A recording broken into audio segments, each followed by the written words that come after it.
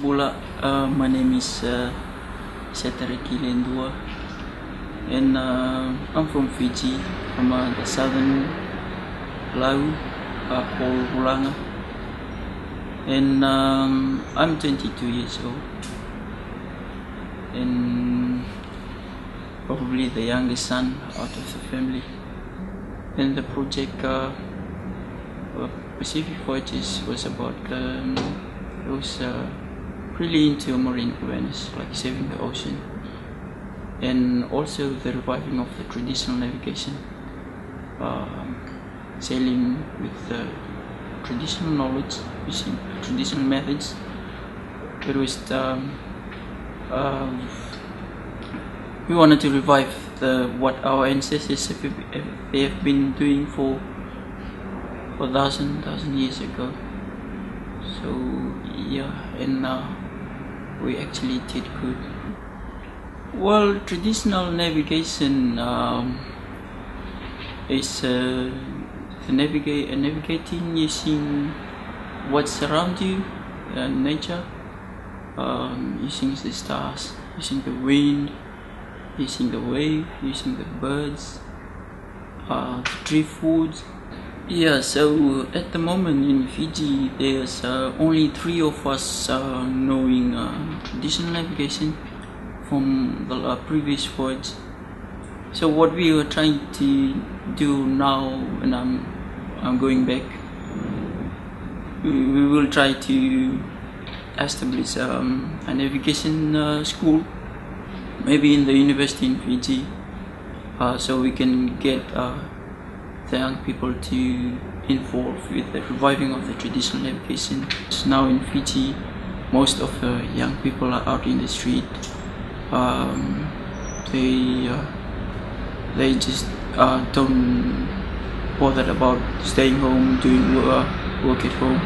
They just go out into the cities and hang around for the day. So nothing for them to do. So there was um, something we were trying to do to get more young people to involve with uh, sailing and traditional uh, navigation. The waka that we were voyaging on, uh, we're not using any fossil fuel to run the waka. Uh, it's all about the sail and using the wind to to to run the boat. And uh, we also have a boat where is in a motor engine that powered by the solar, where we we normally use uh, only when we come into the harbor, um, into the dock.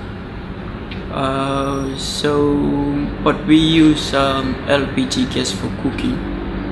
Uh, so, and the boat uh, is an um, uh, uh, an old design, uh, designs, uh, which is made out of fiberglass and um, plywood. On the Baka, there are 16 crew altogether, so the captain plus 15 crew, and uh, I was uh, the traditional navigator on uh, our Baka, and uh, also the chief uh, officer, which is second in command.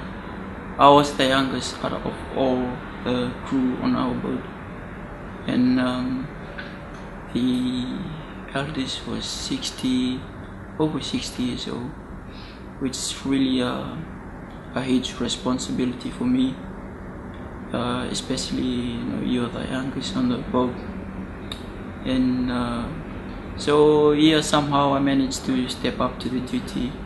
Uh, in the boat uh, there's uh, 16 bunks, so there's one bunk for each crew.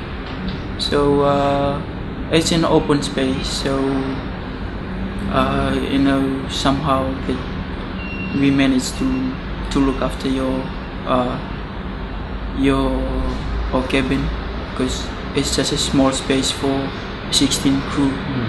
So you have to to keep uh, keep up uh, cleaning your bunk and keep the boat clean because it's it's in it's your home for two two years.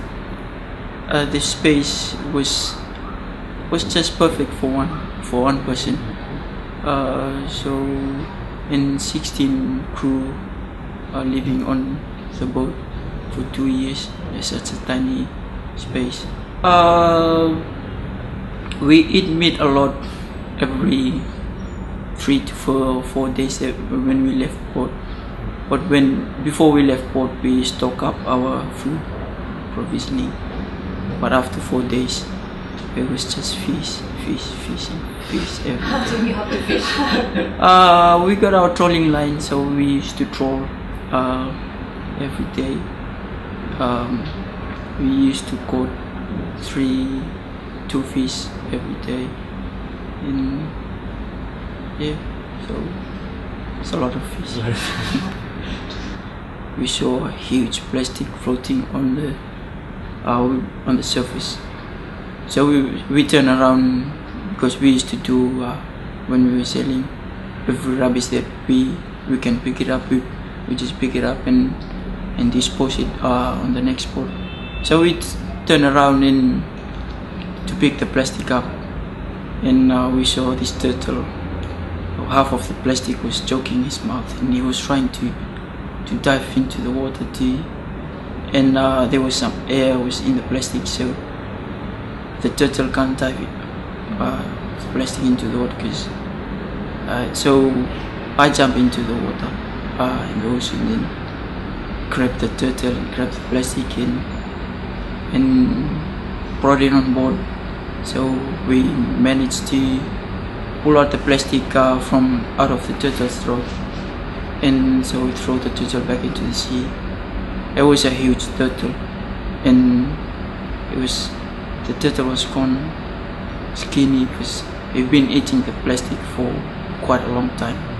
So we managed to save the turtle. The reason why I'm in Taiwan, um, I'm invited to a conference, and uh, it's about uh, uh, Austronesians uh, exchanging culture and traditional navigation. So, if uh, through my experience uh, about traditional navigations and um, Fijian culture, this is something that's uh, really interesting uh, uh, to come in to learn new culture and exchanging culture and going back to Fiji and uh, telling the people of Fiji that you have learned new things and you've learned a new culture, which is something that uh, I've been looking forward to.